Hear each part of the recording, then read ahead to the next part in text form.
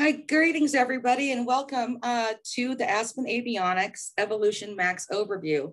My name is Perry Coyne. I'm the Director of Marketing Operations for Aspen Avionics. Uh, hosting our webinar today is Scott Smith, Sales Director, and James Buck, Director of Flight Ops. Uh, just a few housekeeping items before we get started.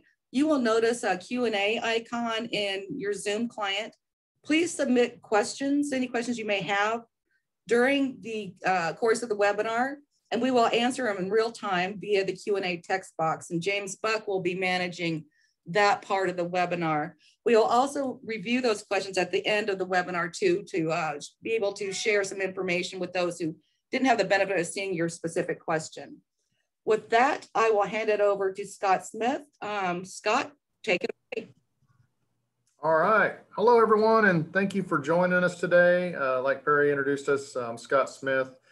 Uh, been with Aspen since 2007, and we came out with our first uh, certified uh, flight display in March of 2008, and it's been uh, it's been a lot of fun ever since. So uh, we do appreciate your time, and uh, thanks for coming on board with us. So a little bit about myself. Um, I started, like I said, in 2007, and joined the company with with the intention of you know owning the world but the uh, first airplane I had, I was trying to get my slides to start working here. Uh, the first air, aircraft we brought on board was the uh, Cirrus SR-22 and had that for about six years, put a uh, 2,700 hours on it. The, uh, the panel did some upgrades, started out with a single screen and then eventually added the uh, MFDs as those uh, came online. And then life keeps coming at you and my wife kept having kids, so we need a little couple more seats. And we ended up with this A36 and the A36, a beautiful machine, nothing but good things to say about the Bonanza. And for those of you out there who are familiar, you know, that's a, that's a beautiful, great flying machine. So, um, and did some upgrades in the Bonanza as well. So we did uh, uh, the three screens there on the left, which is a 2500 system. And then uh, had the Bonanza for about four years and then made another upgrade to the uh, to the new well new to me Piper Malibu. I've had that since 17. And the Piper, what's nice about the Piper Malibu coming from the Bonanzas, I gained um, air conditioning, de-ice, pressurization, and a little bit more space as my kids were growing. Um, so it's it's been a good machine for us. I'm actually uh, just picking it up now. Had to have a, an engine um, done, rebuilt the engine. It was uh, pretty much time, close to TBO. So um, literally just did the first flight, break-in flight on Saturday and in the middle of getting everything tweaked in, but I should be able to go back to uh, my home base today. I'm in uh, Venice, Florida right now, and I'll be heading back to uh, uh southern Missouri. I'm flat of Willow Springs, Missouri. So anyway, the, and here's what my uh, current panel looks like. So the point of all that is when we're talking to you, we're talking to you from experience. We're real pilots. We really fly the, the equipment. We use it um, almost weekly. Well, definitely weekly, almost daily. Um, James Buck, he's he'll he'll be on here in a little bit. Um, he's our chief pilot out of uh, Albuquerque and Durango area. He has a place in Durango, and he has a Cirrus as well. So he'll uh, um, he'll be talking to you. But he kind of he covers the West Coast for us, and I cover the uh, Central and Southeast from a sales side. Um, and um, you know, Aspen Avionics, we focus on customer service and product support. When you pick up the phone, uh, you're going to get a hold of somebody um, those numbers are, are, um, are, will go right to our cell phones. So makes it easy to get a hold of us. Um, but anyway, I'm going to start with, uh, I'm going to go ahead and shut off my camera. I just want to say hi so you can see who is talking to you, but I didn't want, you know, that pretty face to distract you. So let me shut that off. And um, that way we can focus on the important stuff. So our initial product that we had, um, you know, in 2008 was the uh, um, evolutionary flight display, the EFD 1000. And that's kind of what what gave us the nice uh, shot in the arm and, and, kicked us off. And we had had uh, those for a couple years, and then we added the MFDs. But you know, it was, it's and it's it's such a great feature rich, rich product. Um, and from a from an installation side, from an upgradability side, you know, a lot of you out there, we have you know over twenty thousand systems flying around. So a lot of a lot of folks that you've talked to and yourselves personally have a lot of time um, using these. And what Aspen's known for is the fact that we are very open architecture. In other words, we play nice in the sandbox from an industry perspective. And we'll we try to interface with everybody out there, whether you fly behind, you know, brand G, brand A, brand H, whoever, um, or whatever autopilot. We are uh, very open um, as far as that's concerned. Um, we're also upgradable, and we're going to talk about the Max a lot today. That's our that's our new product. Um, and just to be clear, and I'll say this several times today, the Max system is a completely new uh, blank slate system. It just looks the same because the same form factor, but all the internals are completely different. So understand when I'm talking about Max, that's a totally different product line from our, uh, our legacy uh, systems. So as we, uh, there we go. So as we're looking at our, at our, uh, at our unit here on the back of it, just to give you an idea of kind of what it looks like when you pull it out of the panel, you've got the can here that uh, sticks out the back and it's about six inches. Your cooling fan, what it does is it draws air in from the top and exhausts out the bottom. So um, uh, that's how the, the cooling system works. You've got a pitot and static line that plug into the back. You've got a couple boards here. Your AHRS board is right up here. Um, that's all internally. Uh, down here is your backup battery. And I'm going to talk about that because we have a brand new battery, new design, and it's uh, it's it's pretty compelling. It's a, it's a really nice uh, new uh, battery that's uh, lithium ion, and it's added added uh, more capability to what we can do now, and really cleaned up everything. As far as the the two other components go, you've got an RSM or remote sensor module right over here, and it looks just like a GPS antenna. It's got this little fin look, and what that is on the back of that fin, that's your OAT probe. So it's got OAT, and that's that goes in for your air data information. It also has a GPS antenna and a GPS engine built into it, along with the heading source for your HSI. So it's a pretty smart design from, uh, you know, that way you don't have a bunch of LRUs around the aircraft. You can literally just this one, one little uh, antenna does all those things. Makes it, uh, brings down labor costs and ease of installation.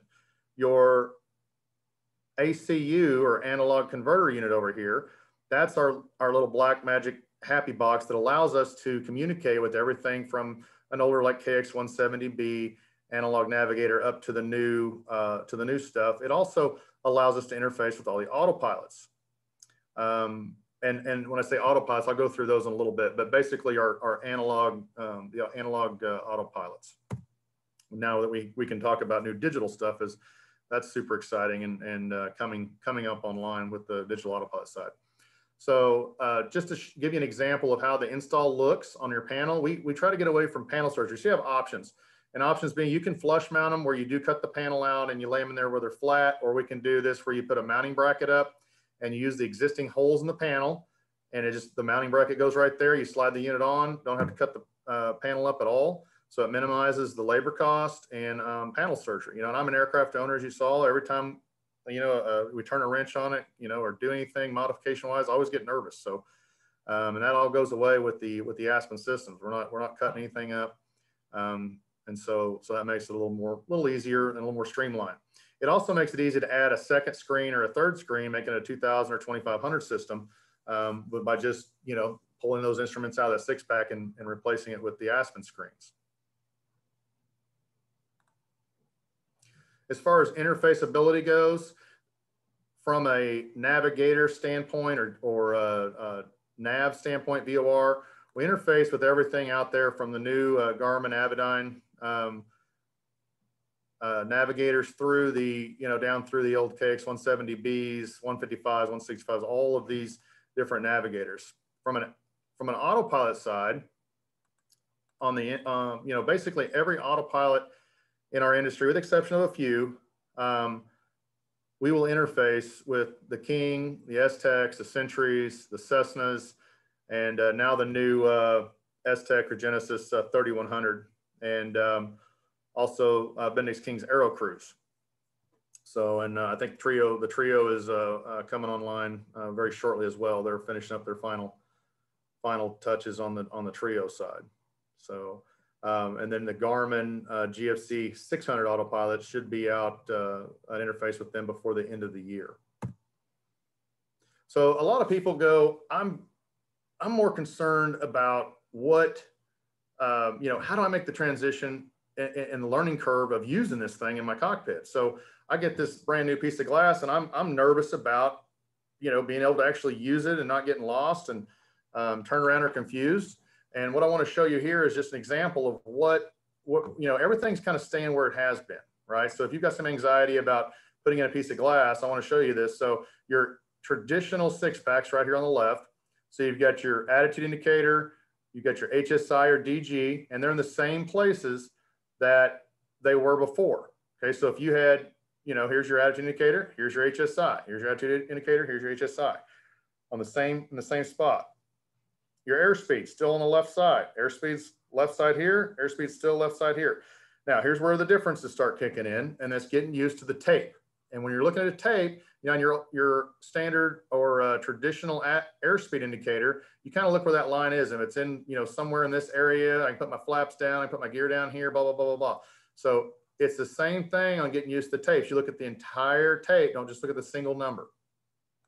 Same way with the altimeter. You're looking over at the altimeter. It's on the right-hand side. Your altimeter is, um, uh, of course, the tape here instead of round but we also give you an altitude alerter, which you can dial in an altitude. When you get uh, 15 seconds away from that, it's going to come up and say altitude. If you get more than 250 feet off, it's going to say altitude.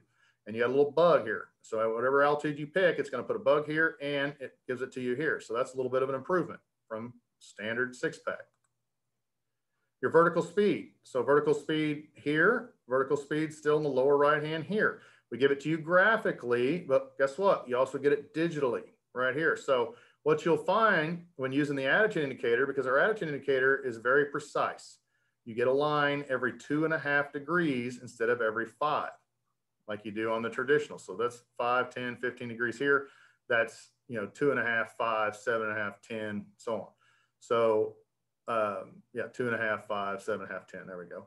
But you'll see, look at the scale, a lot larger than your traditional attitude indicator. So it's a lot of movement. But what's really cool is it's very precise and you're going to learn that for different phases of the flight, you can, you know, if I want to accomplish 500 feet a minute down or up, and you'll you'll learn very quickly using it and behind behind your particular aircraft what's going to give you that performance. And so what I do is I adjust my pitch. I look down at my digital readout here and say if I need to make see if I need to make any adjustments to get that 500 foot a minute descent. What I usually shoot for, depending on the day. Your uh, turn and bank, slip and skid. Um, is right in the lower right hand here. Now it's a little different on the Aspen. This is one of the things that's a little bit different.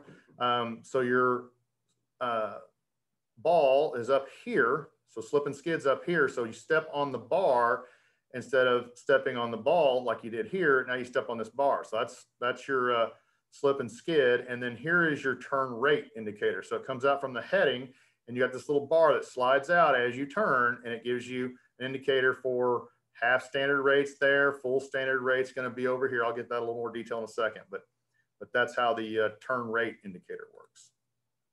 As far as, you know, all the different stuff we can show you, I mean, this is, you'll never see this screen, but just there's how many different things that are, that are, um, you know, displayed on the screen.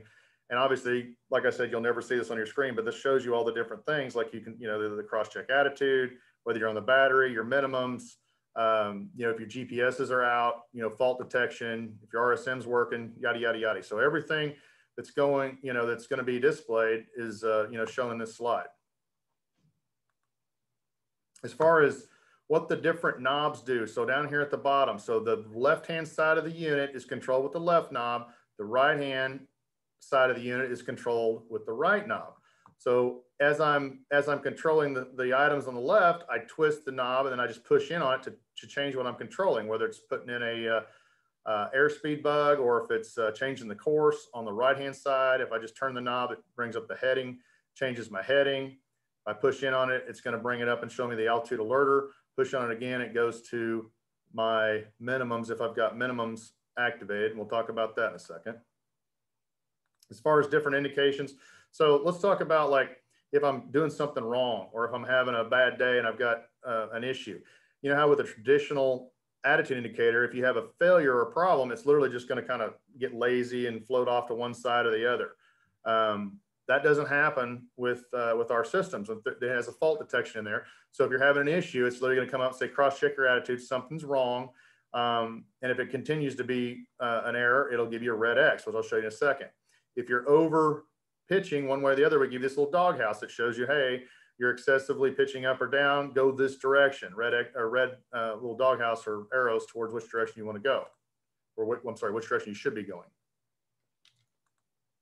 The uh, so here's here's what you know attitude fail would look like. So it makes it very obvious. I don't have any attitude. As far as our uh, airspeed tape goes, I really like how many options you have on that tape. So I can put all my different V speeds in. And if I'm a twin, I get my blue line, my red line. Um, I get all the um, different uh, air speeds. I get, if I'm having a, a, block pitot tube, it's a very obvious. I've got indicate airspeed fail.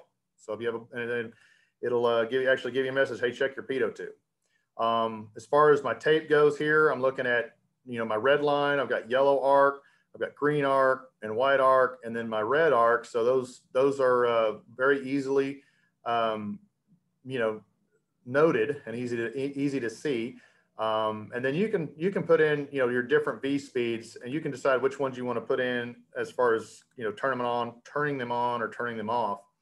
Um, it makes it makes it real easy to uh, to set up the different V speeds underneath the menu. So uh, there's an example of VX, VY, or VA. And here's all the different V speeds, the other V speeds we can, we can uh, put in there. As far as the uh, altitude side, so let's talk about the altitude for a second. You've got um, the alerter, which um, is what can also be an altitude pre-select depending on the autopilot. Um, with a 3100 autopilot, it's going to be an altitude pre-select. Um, if you have the APS 4A altitude um, pre-select, from avionics Straubing, it's also an altitude pre-select. You dial, so whatever altitude you dial in um, with the avionics Straubing box, you hit a little uh, arm switch. And when you get about 20 feet away from whatever altitude you put in, it's going to kick in altitude hold for you. And that works on, you know, the KFC 200 auto, uh, autopilot. Um, basically, most analog um, autopilots that that altitude pre-selector will work with, and it's uh, minus the KFC 150. It will not work with the 150 um, but most of the others it will work with.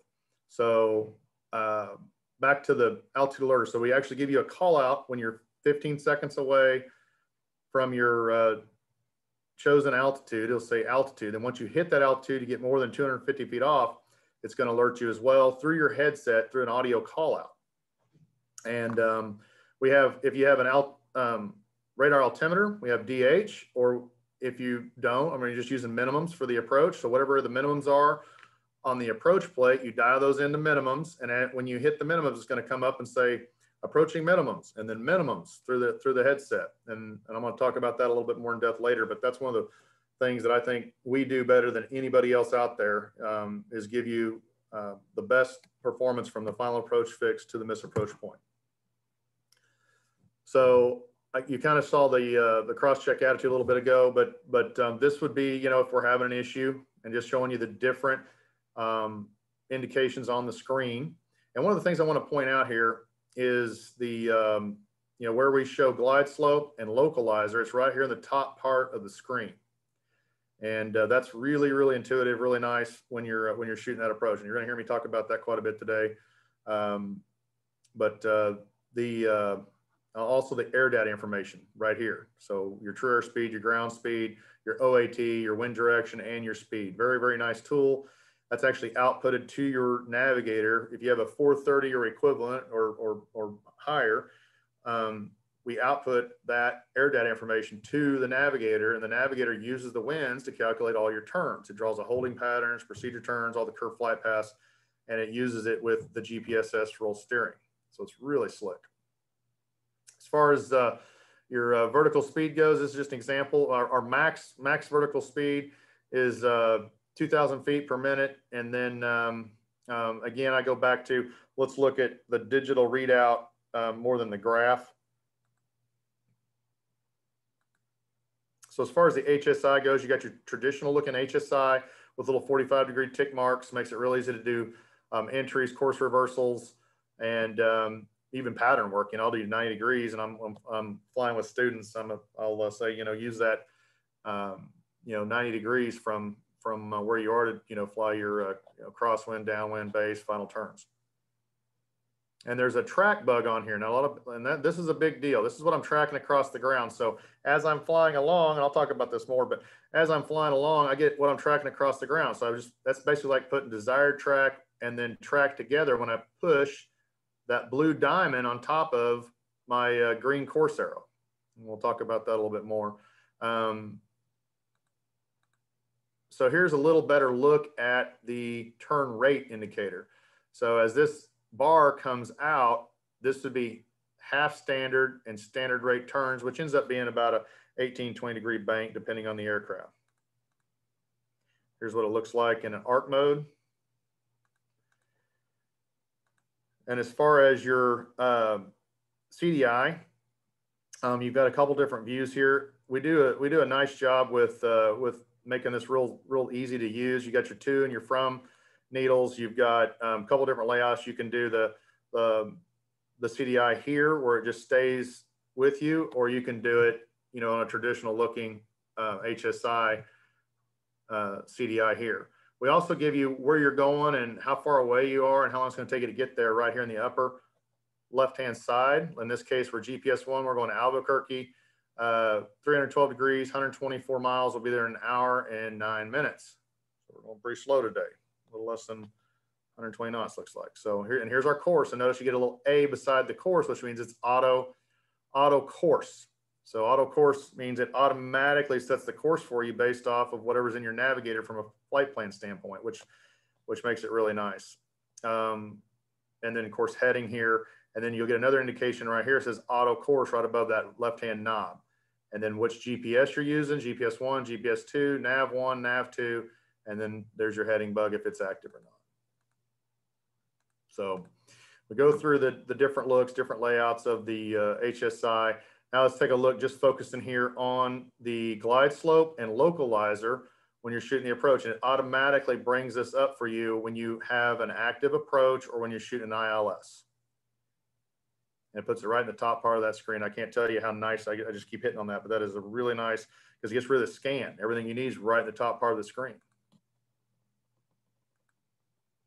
So a couple different views here of what our uh, different CDIs looks, different CDI layouts look like. So this is in scale, a uh, little bit of a deviation to the left. This is in scale, full deviation to the left, and it turns hollow. That way you know it's off scale and then this is, this is your to, and this is a from reading over here. And it actually says to and from on the uh, lateral.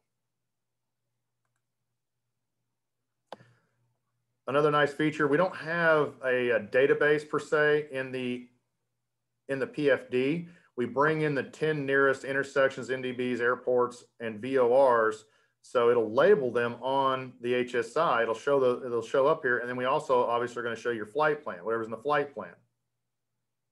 You've got your two RMIs or uh, bearing pointers, but, um, and those are those two soft keys. And I'll talk, you'll see those here in a second, but basically you can decide whether you want to see GPS one, GPS two, VOR one, or VOR two. And they're easily distinguish what you're looking at there.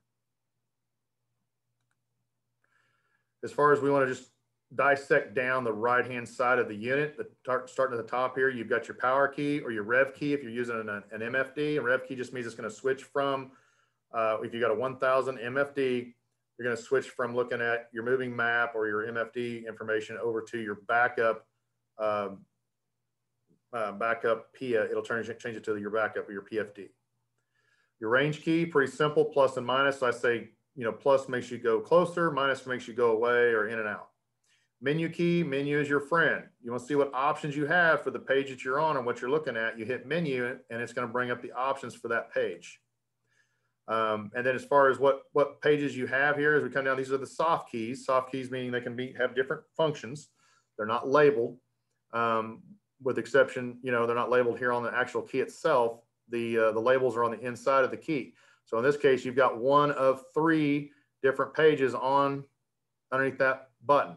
And we've got the min minimums here. We've got 360 or arc mode. That's when it switches from obviously just like what it sounds, going from a 360 to an arc mode look on the HSI. Then your GPS roll steering, which is almost worth the price of admission right there. I call it George Pilot Super Stud because George can fly that airplane a whole lot better than I can. And that gives you the ability to fly all your course reversals, uh, holding patterns, uh, turn anticipations, everything's off that GPSS roll steering. And with the air data information, it takes the winds into account. We've got the baro, so you just hit the button, baro lights up, you dial in whatever baro it, uh, it is for the day and or whatever ATC tells you it is right here. You got the flight director. Um, if your autopilot has a capability, we don't make up a flight director. The autopilot has to have the flight director capability. Um, you're, we talked about ILS and um, which is uh, right here and here on the attitude indicator. And again, I want to show you one more time. So if you drew a line across about right here, everything you need is for the approach is right in the top part of the screen with your airspeed, your attitude, altimeter, glide slope here, localizer here, and you also have a minimums will be set right here. And then what the winds are doing to you, there's the winds and what your heading is, what your track is. And if your track bug is on top of that green course arrow, it's gonna keep that straight. And another trick I learned from an old DPE was you want to know how fast I need to go down to keep that bar, keep your glide slope straight, take whatever your ground speed is, so 120, divide it by two. So it makes it 600 feet a minute. So take whatever your ground speed is, divide it by two, and that's how many feet per minute you need to go down. And that's going to get you pretty close to keeping that glide slope um, straight. Let's look, take a look at the bottom part of the uh, unit. So we talked about these two uh, knobs and what they did a little bit ago, but let's talk about the three buttons in the middle. And we mentioned that a little bit, but basically the two on the sides are that uh, bearing pointer RMI. And the middle one is the source selector for your CDI. And what you'll find is you with a uh, with a digital navigator like a 430 equivalent, you don't really have to push this button at all because it automatically switches from GPS to VLOC when your navigator switches from GPS to VLOC automatically. So that's a nice, uh, really nice feature as well.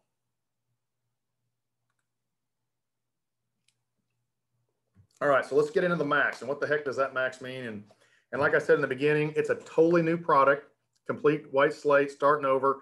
It's the form factor is the same, but our processors, um, in, internal componentry, everything's new and different by 10 years. So as you can imagine, you know, take your computer and 10 years newer, that's what a Max is. Um, and so some really cool things we're doing, we're including synthetic vision as part of all Max displays. You don't have to pay extra for that. Um, we've also reduced the pricing on some of the other features like ADSB unlock or the um, AOA unlock, which is now 595 each. Um, but if you buy a, a, dual screen or more, it, it, actually comes with the 2000 system and the 2500 system. You get AOA and your ADSB unlock um, included. So you can display your traffic, your weather, and the AOA, of course. The dual aiding AHRS, we, we've probably heard that around the block a little bit. And what the heck's that mean, right? What's dual aiding AHRS? Doesn't mean anything. Well, it just means there's no single point of failure. So if you have a, a let's say you have a flying along, you have a pitot blockage with a legacy system, that used to knock out your entire uh, unit. It would black uh, go, um, um, you know, red, red, red X. And now all it does is red X is the air, airspeed. Everything else keeps on going. So, and there's here's a big, big one. No backups are required with a 2000 system or 2500 system. And the reason for that is our new internal battery, which I'll talk about in a second. But, but basically, you've got completely two separate set of sensors um, two separate systems. You can hit one with a hammer and the other one's going to keep on going. Um, so that's why there's no other backups required. So it gives you a lot of flexibility in the panel to, you know, kind of do whatever you want to do. You can cut a new panel and just put in the three screens and be done, or you can move some stuff around, but there's no like requirements or restrictions as far as where you got to keep um, different backups like you like you have had in the past. You've had to keep a backup attitude, airspeed, and altimeter. So the um, uh, let's talk about basically our, our uh, the Pro Max here with, um, you know, I talked about the components a little bit, but the plug and play side is a really big deal um, in that you literally pull the, the old unit out, you slide the, we're going to send you, send you a brand new Max, slide that unit in and you just, uh, it, and, and keep on going. So in other words, it's a, it's a direct um, slide in replacement.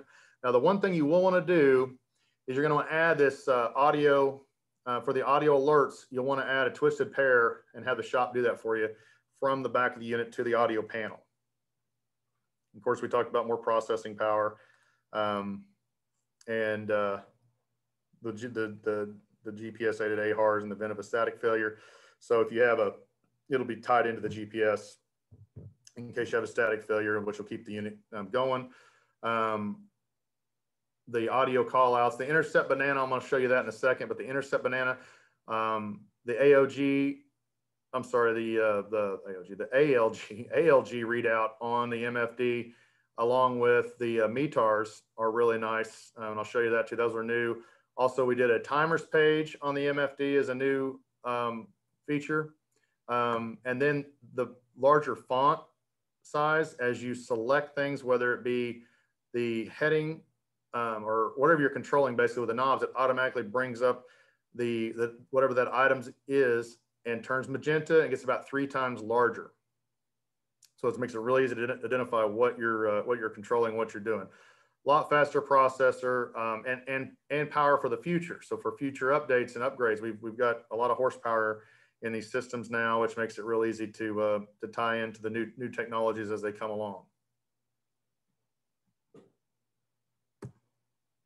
So here's an example of what what these some of these new features look like on the MFD.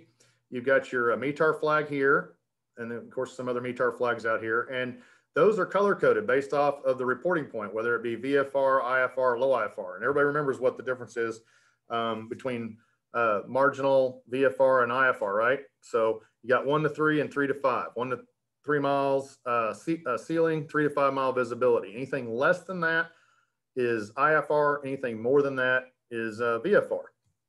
So that's what those color codes mean. Um, here's your intercept banana. What the heck's that mean?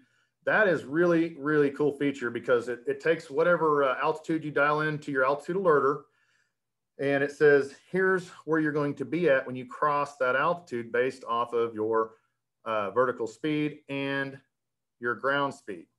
So I use that, let's say I'm, uh, as I'm flying into my airport, I put the altitude alerter a thousand feet above the ground, so pattern altitude. As long as that little banana is on my waypoint or my airport or before it, I know I'm going to be okay. If it's beyond it, I know I need to go down a little bit. And same way with like if you need to get underneath airspace in this example, we need to be at this altitude, whatever it is, but we've selected to make it underneath this class Bravo airspace, or you want to go above mountains or whatever. There's a lot of different uses for that uh, um, intercept uh, altitude intercept banana. And uh, oh, the other thing I was thinking of is uh, climbing. Uh, uh, sorry, altitude restrictions. So you're coming in you've got a an arrival you're doing. You got they say be at um, Sermo at six you know six thousand feet of Sermo, whatever it is. Dial in six thousand feet. Make sure that that arc is at Sermo or before it, so you're you're hitting your crossing restriction. Here's your AGL readout down here, and it tells you how high I am above the ground. If you're living in Florida, probably doesn't matter that much. But if you're anywhere outside of Florida, it's like, yeah, I want to know how high I am above the ground, especially out west. So with the uh, this new internal battery, the enhanced, uh, excuse me, the enhanced uh, um, internal backup battery, it'll it's, it's what allows us to remove all the backups on the 2000 and 2500 systems, and it gives you um, you know full. We, we we publish 30 minutes of use. It's going to last 30 minutes of use. It's going to last a little bit longer than that.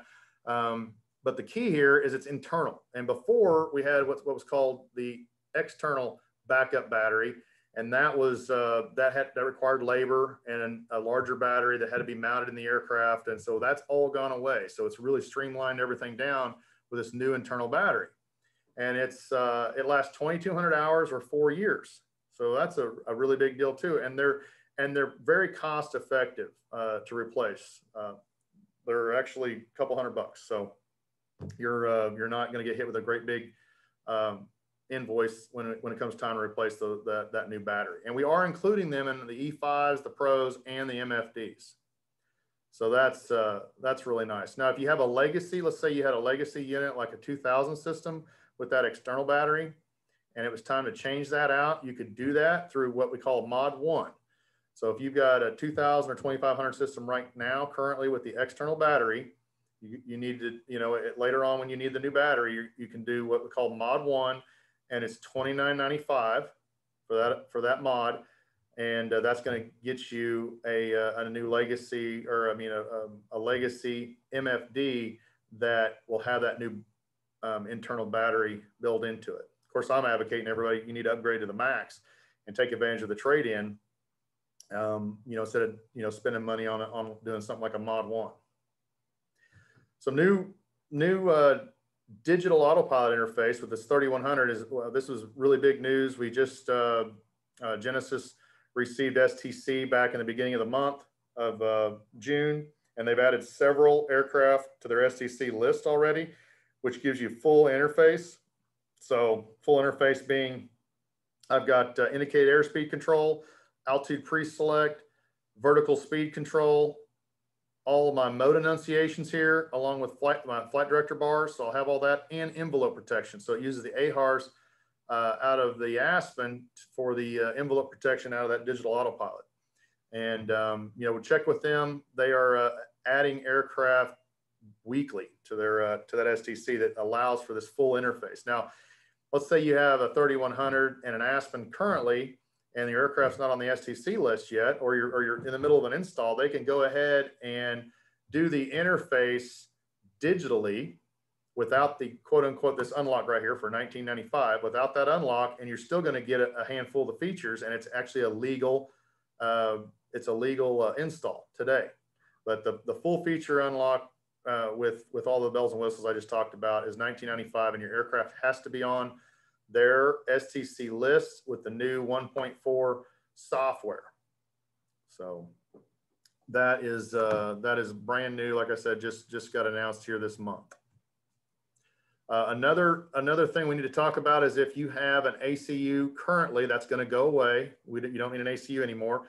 So if you've got two 430s um, or equivalent, no effects, right? If I just have uh, two 430s and I'm, I'm coming out of a, a, a say a, a, an older autopilot SX 30 or King KFC 200, whatever, I have an ACU, that ACU goes away and I got two 40s, 30s and I go to a 3100, no big deal. However, if you have an, a, a KX155 or 160 or an analog nav tied to your Aspen, you're going to need an ACU2 because the ACU2 is required in that install because of high speed ARINC 429 uh, data that has to come through to the 3100 autopilot. So in that case, you would need an ACU2 if and only if you have an analog navigator like a KX170B, 155, et cetera. The other option to that, instead of spending the money on that ACU2, is you could, you probably already have it installed with an indicator and just leave it like that with that, with that uh, analog indicator.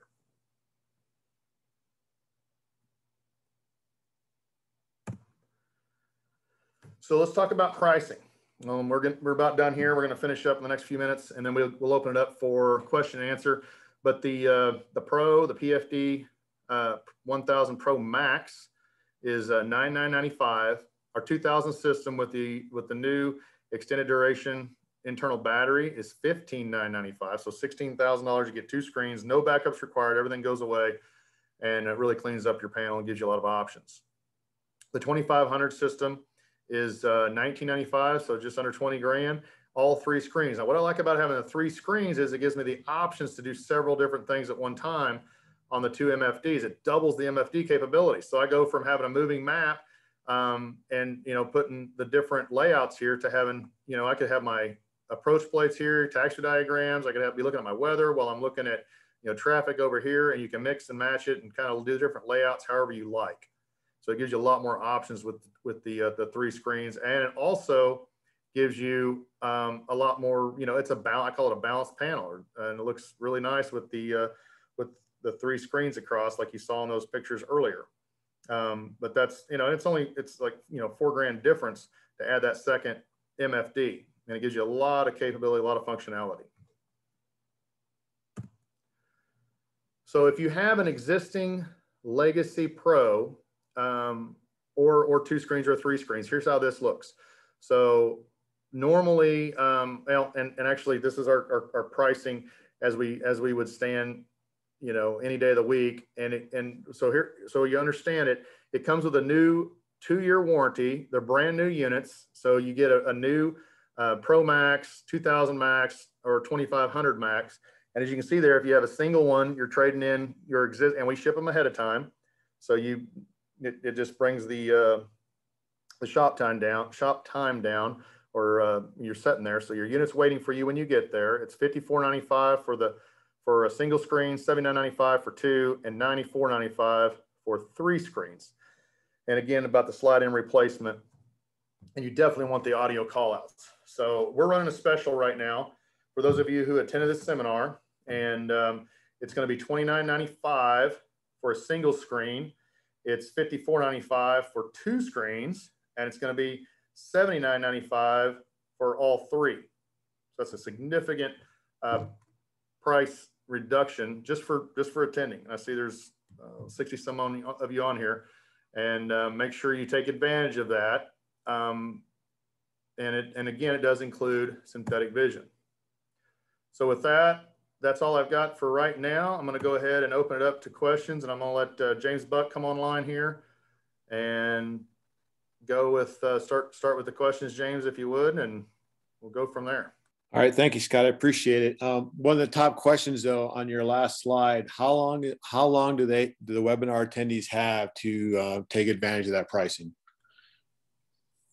Oh, oh yeah, yeah, that's a good. how long do I have? Well, let's see. Is it the last day of the month? You got about five hours. No, um, no, we'll give you uh, a, a couple weeks to take advantage of that. What All right, thanks. Okay, I'll just go over some of the more popular questions I've, I've been receiving. The first one is um, the question about the GFC 500. Uh, unfortunately, um, the new FAA rules mandates that the autopilot manufacturer must do the STC work and approval of integration of outside equipment. So in this case, Garmin would have to do the GFC 500 inter interface and Aspen cannot do that. I will say we have worked closely with both Genesys and Garmin the past several years, or the past few years with the Mac, when we released the Mac systems and have provided both those companies with all our interface technology um, to allow them to uh, do the integration with our systems. We've also made several changes to our software for both companies to make sure they integrate with the 600 and the 3100 properly. Um, we hope that Garmin will extend that to the GFC 500, um, but I cannot say that there's any uh, timeline if they're going to do that or not. So I, I, know the GFC 600, but we cannot. There's no real discussion on the GFC 500 at this point. Yeah, correct. Right. The, the the 600 should be out, like we were saying before the end of the year. Um, and and again, like James said, go to Garmin, ask them about the um, you know the 600 when that's going to be released if that's what you're interested in, or the 500 um, if, if you're interested in that. But that has to, like like I said, has to be driven through Garmin. Um, so yeah. That, yeah. So go ahead, James. What's the next question? There, there, we Aspen has over 15,000 customers out there flying, currently flying our equipment. Um, so I know I know they're going to want Garmin's going to want a piece of that eventually with that GFC 500, but we just don't know when it's going to happen. Um, next most popular questions have been about the upgrade. Uh, what work needs to be done? Well, the awesome thing about it is this system, the Max display plugs into your existing harness. So you maintain the same remote sensor module doesn't change out. Nothing in the harness changes. The only additional labor required is that since as Scott mentioned, the Maxes now have audio, they do have to run a wire from the existing Aspen connector to your audio panel. So that's the only real additional labor. Any unlocks you had, such as synthetic vision, angle attack, or ADS-B, all those unlocks will continue to work because those are stored in your config module. All your settings are also stored in your config module, so you don't need to recalibrate anything. Everything will just work once it's plugged in. Yeah, and, it, and I'm, hearing, I don't know, what you're hearing James, but my shops are telling me it's, you know, half a day to a day, depending on, um, you know, how hard it is to get to the back of that audio panel. Correct. Yes. About, I'm hearing about the same thing as that as well. Um, let's see. Uh, Scott mentioned this, but there seemed a lot of questions on it. So with a 2000 max or the 2500 max, you do not need any backup attitude indicator anymore. If you have an existing 2000 or 2500 system with the external battery, we ship all new units with our new internal battery. The internal batteries last just as long as the external battery. So you, so that takes to replace that external battery. So when you do that swap, the shop will remove the external battery and the switching and you rely solely on the two internal batteries within the, Aspen systems. Um, to get the reduced price uh, for the webinar, make sure you tell your shop when you order it that you, you know provide the shop with your N number, your name, and the display serial number uh, in your aircraft. You can get that from either your uh, logbook entry or you can turn on your display, hit the menu buttons, and scroll all the way to the right and get the serial number. That gives them the information they need to submit the, the order to us, and uh, we'll take over from there. And basically, once we get the order, we ship them the new displays. They receive the displays and they contact you, say, "Hey, we've got your displays. Come in, come in and do your swap." And then um, once they're done, they just need to send us back to, to your old units within 90 days. Um, let's see what else we got here. Hey, James, there was a yeah. question that came in on the chat, and I'm hoping that you guys can uh, answer this live. Uh, I'm sure there are a lot of people wondering the same thing because we went over it pretty quickly, but there's a, if you were to upgrade from a single Pro PFD to two Max screens, what would that cost be with the special pricing? Oh, so so the special price is already included in, in, the, in those orders. So for instance, well, we're, we're, taking care of our legacy customers that want to upgrade to a 2000 or 2500 system. So we're already extending that single, that 29.95 price, and then they're purchasing a normal a display at a regular price. So it turns out we're giving you $5,000 trading credit towards a 2000 or 2500 system. Um, let's see, if I have an E5, can I direct slide and replace it with a Pro Max? No, if you have an E5, uh, the upgrade cost, the upgrade cost for that is four thousand uh, dollars. The, the twenty nine ninety five is only for the Legacy Pro systems. Hmm. How do I ensure the dealer gets the right pricing? I just said that. Just make sure you contact the dealer with all your information, give them your name, let them know you attended the webinar. We have a record of all, every, all the attendees, so we just verify that list and uh, give you the appropriate pricing. Uh, as far as as far as the Pro H's and the Class Three displays, um, we are intending to make those Max systems eventually, but we don't have a timeline on those quite yet. Uh, I'd probably look, you know, we might have some more information on timeline on that towards the end of this year. Uh, as far as software, how do I tell what software I have on my unit? Uh, basically, you turn on your display, press the menu button, scroll all the way to the right, and it'll tell you what your software, your, your map software, your IOP software, and your unit serial number.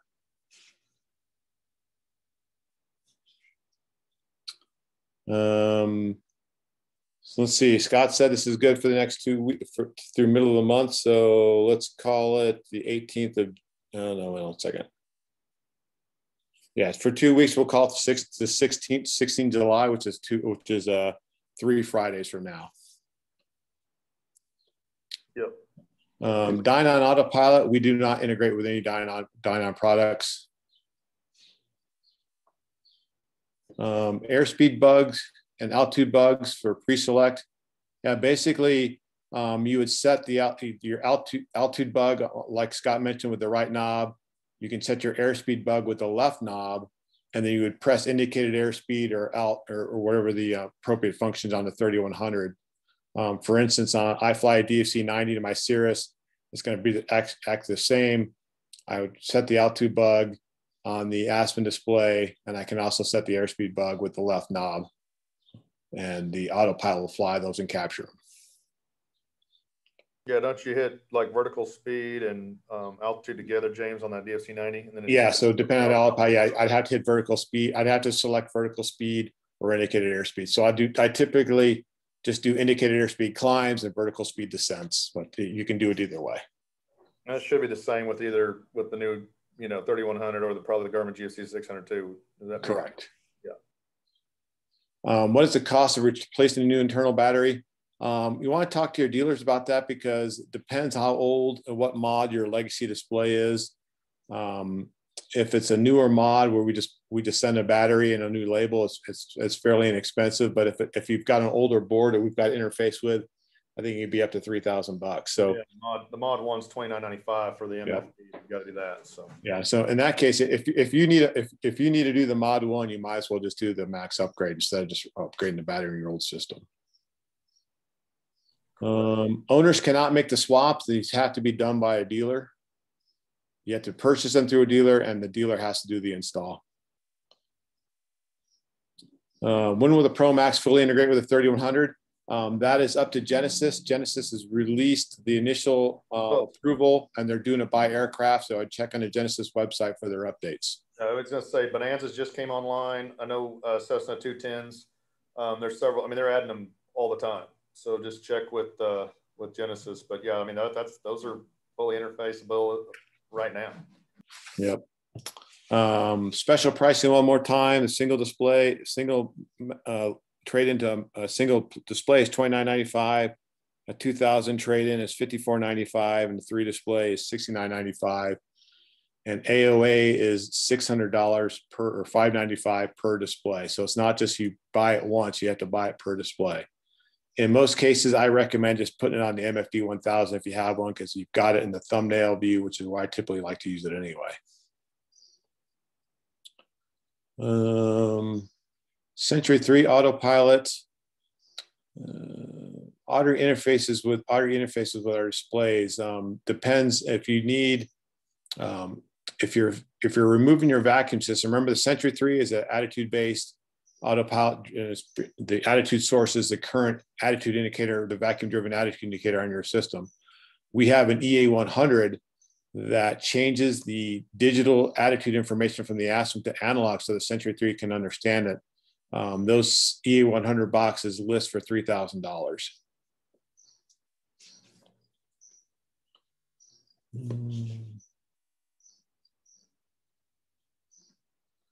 Let's see. Yeah, if you have a 2000 Max in a Piper Malibu installing now and has the old internal batteries, can I do an exchange? Um, I would just talk to your, that, that seems to be a, talk to your shop and have your shop contact the field service team and they can tell you the best route to go um, with getting those batteries. Um, but really, if you just got the 2000 max system, there's really no need to change out those batteries. Yeah, I was going to say they should be the new battery. If you, I think, I think we started. Was it James? Was it in uh, November? We started using the new batteries, and then just to replace them, it's not with the with the current internal um, backup battery. I think I think it's just a switch and like I said, a couple hundred bucks. So yeah. Um, if I replace my E5 with a Pro Max, do I need a backup? Yes. So the E5 is certified as electronic flight instrument. And this is very confusing to us and to customers. But the FAA rule says if it's an EFIS, uh, which the E5 is, it does not require a backup attitude indicator. The Pro Max is a primary flight display, and a primary flight display does require a backup attitude indicator. So if you go from an E5 to a Pro Max and you've pulled your vacuum driven attitude, well, now you've got to come up with an attitude source, a backup attitude source, of which the MFD 1000 is a perfect fit for that. Mm. Let's see. Uh, software updates, um, our, our, our, our, cultural nav data is through Jeppesen. So if you have a Jeppesen account, you may be able to bundle, get a bundle pricing. I don't know what that is. And then our charts are through Seattle Avionics. Um, some of you folks that FlyQ, um, you get some, I think if you buy like one subscription from Seattle Avionics, it might go across several units. So you, you know, I would contact them for pricing. Um, I think uh, as far as Oshkosh, I think Perry's going to talk about where we're going to be located Oshkosh. Yeah, I'll just, uh, let me just jump in here. Yes, we're in Hangar B, uh, booth uh, 2145. As soon as you walk into Hangar B, turn to your right, you can't miss us. And we also have a uh, North hospitality location in the North 40 uh, area where it's basically you can kind of, you know, if you're camping down there, you can come into the tent, sit down, grab a bottle of water. So we're going to be in two places there. Yep. Yeah, the North 40s where you know everybody comes in when you're when you fly in, they bring the buses in there. You know, when you're when you're paying for your fuel there from Basler, if you look back, you'll see the Aspen. It's hard to meet, but Aspen tent, and um, and then we got several aircraft out out there as well with our systems And If you want to see what it looks like in an aircraft, that's a good spot to do it. Yep.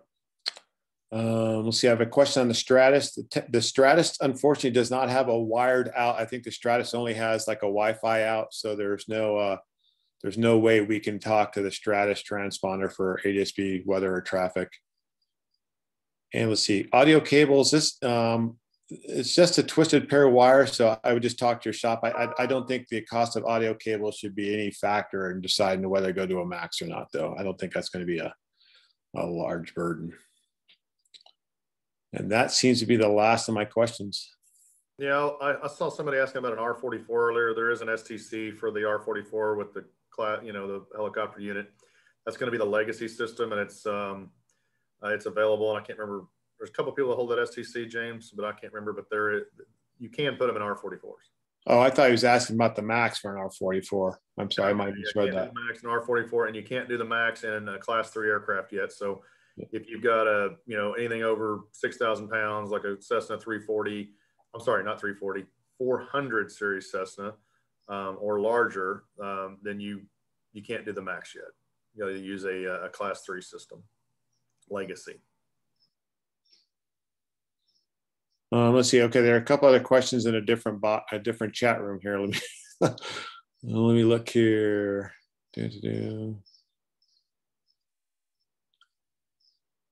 Let's see if I put if I place my order and they will swap my do my swap next am I allowed for special pricing? Um, I would contact your dealer on that, but I'm pretty sure if, if you're on this, uh, we could probably take care of that. But that I would just contact your dealer and have them contact your sales rep. Hmm. Let's see. An AOA unlock is a is is 595 per display. Um, it does does require short calibration flight. Basically, uh, your shop will, when they unlock angle attack, they'll put in your basic empty weight, your max gross weight, the weight you're going to fly at calibration as close as possible. And you'll go fly a short calibration flight. Basically, you, you fly at VA for a minute and a half, VS times 1.3 for a minute and a half, and VSO um, times 1.3 in a minute and a half. Then the uh, system will learn your, your, your aircraft's particular lift curve. And then from there on, once it's calibrated, no matter what your uh, your your weight, your center of gravity, uh, the Aspen will accurately depict your um, angle of attack. Okay, so I think I cleaned all those up, Perry. All right, I think I saw a couple more come in, James, uh, from Antonio um, and Thomas. And I think that if we get those, I think we've covered it all. Let's see, I have an EFD, not PFD Pro.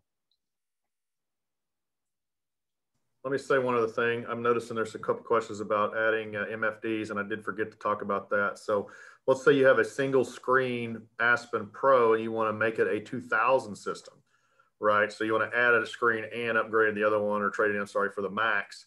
And that's 10995. So it's a really good deal where you can say, all right, I've got a single legacy screen right now. I'm, I'm going to trade that in and get a brand new two screen 2000 max and it's 10995.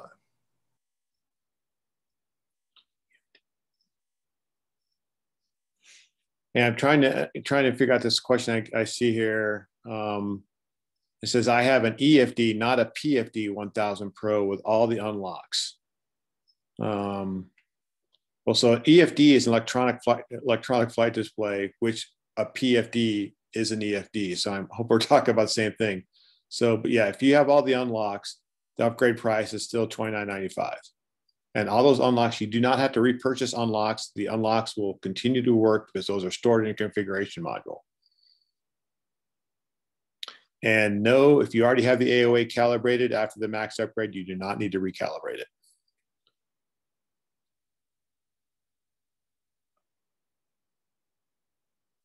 Okay, so I think one more. Um, oh, there's just one more that came in from Chick. Um, how long to ship a new Max? We can ship those today. Yeah, yeah, we've got them available right now. Um, and uh, we really appreciate everybody showing up. Thank you very much for joining us today. Uh, Perry, you want to close out? And and uh, we've got our uh, information right there. If you want to contact us directly, uh, feel free. And um, we, uh, we've been here for an hour, so uh, we do uh, do appreciate everybody joining us today. Thank you very much for your time, and and we look forward to taking care of you guys. And I just want to uh, close up today again to um, just to thank you again for for attending today's webinar. I, I have recorded this webinar. If you do want to see, um, you know, get a link to the recording, just uh, shoot me a quick email. It's perry.coyne at aspenavionics.com. And uh, I'll be able to convert that today and I'll probably have it to you this afternoon. So again, thanks for joining us, everybody. Have a great day. Thank you.